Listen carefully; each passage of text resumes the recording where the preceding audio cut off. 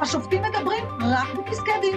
זו השפה שלהם, הם לא מדברים לציבור במסיבות עיתונאים, הם אינם עורכי דין, והם אינם מובילי דעת היא לא דיברה במסיבת עיתונאים, היא דיברה בכנס משפטי, אה, היא דיברה לציבור. היא כינסה אתכם, היא כינסה מסיבת עיתונאים, היא יכולה לקרוא לזה איך שהיא רוצה, היא כינסה את כל התקשורת להקשיב לדבריה שחרחרו ריב ומדון בעם.